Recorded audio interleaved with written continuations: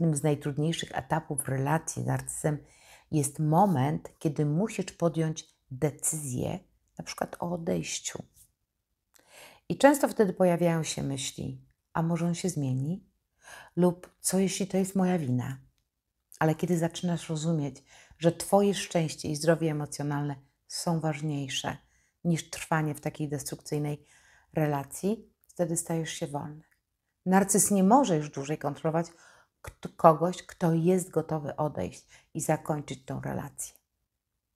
Nawet jeśli to jest po latach związków z narcyzem, w którym stale na przykład czułeś się krytykowany, czy manipulowany, manipulowany, czy odrzucany, dochodzisz do wniosku, że musisz postawić siebie na pierwszym miejscu. I decydujesz się zakończyć relację. A narcyz, widząc, że tracisz zainteresowanie tą grą, traci nad tobą też władzę. Więc moi drodzy, jak widzicie momenty, w których narcyz traci nad tobą kontrolę, to są one ścisłe powiązane z Twoim wzrostem świadomości, rozwojem osobistym i zdolnością do stawiania granic. Każdy krok, który podejmujesz w kierunku odzyskania kontroli nad sobą, nad swoimi emocjami, stawiania granic, dojrzałości emocjonalnej, budowania swojego wsparcia, to jest krok ku większej, większej wolności.